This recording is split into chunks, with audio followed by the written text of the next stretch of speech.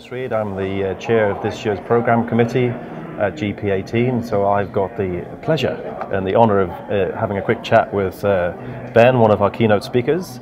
Uh, ben, how are you finding? Uh, the, how's the conference been for you so far? So uh, I, I, go to a number of conferences, mm. but coming from the, the, Ministry of Defence and the Army, they mm. tend to be, as you would expect, defence and security conferences. So, so this is very different, both mm. in subject matter, but also uh, style. And, it, and, um, and what I've taken away is um, the, the, maturity of the debate, the way that uh, issues are confronted, and um, and, and, the honesty. And I, I, think it's been a fantastic occasion. So we brought you here, even though you're not a doctor, uh, because of your leadership role in the defence and the intelligence world. And, and I think people are saying they've learned a lot from you, which is great.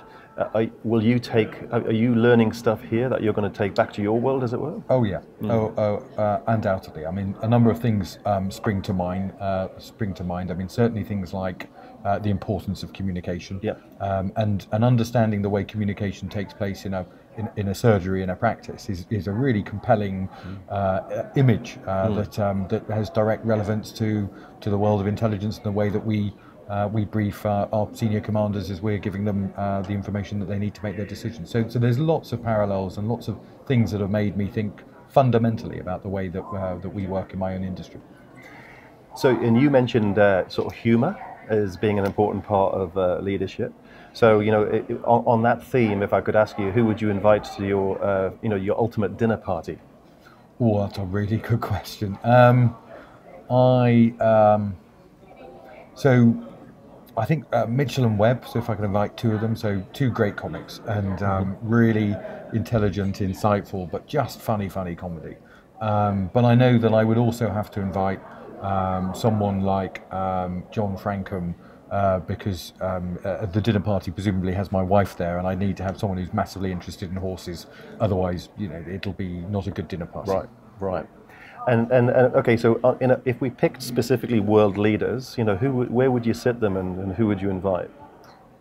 Current world leaders. Correct. Yeah. Um, I'm not sure I would uh, particularly want to be at that dinner party at the moment. It sounds like quite a heavy dinner party. Okay. Um, but um, it, I mean, I would question what, uh, to answer your question seriously, I, I, I, think I'd want to know what we were trying to achieve from that dinner party. Well, that's a very mature answer, isn't is it? it yeah, is yeah. it bringing um, uh, bringing perhaps adversaries uh, together, um, and therefore, how do you achieve that? And how do you achieve that um, by having neutral people there mm. at the hmm. same department, uh, same party? Um, or is it something about you know forging closer alliances with people who are already friends? So I think I'd want to know what the, the actual aim of the dinner party is before choosing world leaders. Okay. In, in terms of your, I mean, without giving away specific personal medical experiences, have you got any sort of interesting memories of uh, doctors or medical officers from your uh, military days? And you're not allowed to mention me on that one. um, for, uh, just from my military days? Yeah, well, yeah, well, um, yeah. So I uh, remember a number. Um, uh, our medical officer at Sandhurst was a, a, a lovely lady uh, called Sally Hayes, who uh, eventually married one of the fellow instructors at Sandhurst called uh, Sally Dangerfield. Um, and um, she was a great medical officer for Sandhurst. And of course, there are a lot of young officer cadets going through training there. There's a lot of injuries taking place. Um, and Sally, to my mind, uh, managed to um, to make sure that she was uh, returning people to training as quickly as possible uh, making sure that perhaps some of the shirkers weren't able to pull the wool over people's eyes, which could be a problem sometimes mm. in these training institutes. But most of all, had a had a wonderful manner about making sure that cadets were um, you know, felt that they were protected, felt that they were you know in a safe medical environment, and when they had issues, you know, she was very much there to support them. So she was a she was a um, uh, she, I think she was a very talented medical officer, and um, I know that you and I have served together, so I'm deliberately not mentioning you. What about um, in sport? Obviously, New Zealand being obviously the greatest nation in the world in the most important sports. Um, how does that, you know, do you feel a bit uncomfortable coming to the world where the All Blacks reign supreme? Um, no, no, I'm, I'm, uh, I, am Why not? because I think being uh, a, a, an English rugby fan, one gets used to uh, moments of triumphs, but sometimes moments of disappointment. So, um, so I yeah. think you know you get a bit of a thick skin on these. Okay, are you allowed to tell us where you see your career going? I mean, is there more on the agenda for you in, in your career? Um, where would you, you know, I- aspirations? uh, well, I mean, I, I- don't have a crystal ball in front of me. Um, For the moment, I'm uh, enjoying the what the job that I've got. Um, it's it's yeah, it's got everything that uh, you'd want: a good team, a challenging mission, and uh, and so forth. Um, I, I, you know, I can't see any reason why now I would wish to leave uh, the army. Um, I certainly am enjoying the work, and um, uh, I, I think that I've still got a few more steps before I transition into Civvy Street. In fact, so it's final question. You know, in, in your, you've, you've probably come into contact with some quite um, amazing people. Um, and uh, I'm not necessarily saying you Talking know- about yourself again. Yeah, of course, yes.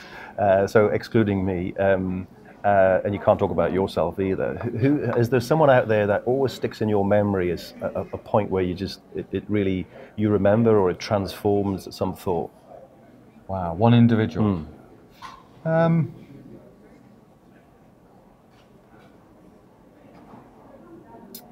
I'm really trying to struggle because I think there's. Uh, I'm really struggling because I think that there's, um, and, and perhaps, you know, perhaps that's probably the answer in itself. That um, I, I think the army is full of um, ordinary people, including leaders, who are doing extraordinary things.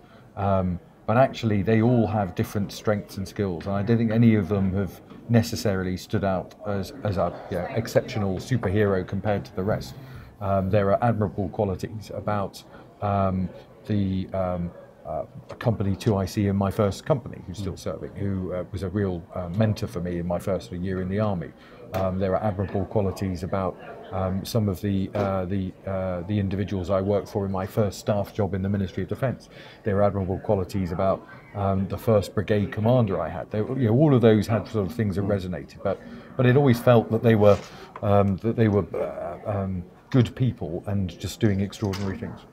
So last, uh, yeah. So any, any, what you're gonna when you get back to you know that uh, English soil, as it were, um, what, what, what memory will stick in your mind from your few days here in New Zealand?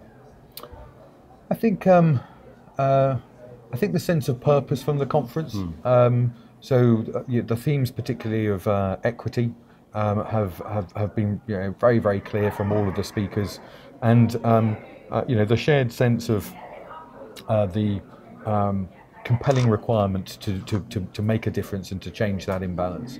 Um, and how there was a collective agreement on that sort of need for change and a, and a real sort of energy to, to, to try and uh, energy and positivity to try and uh, make a difference. Well, Ben, thank you very much. Thank you very much as well. You're welcome.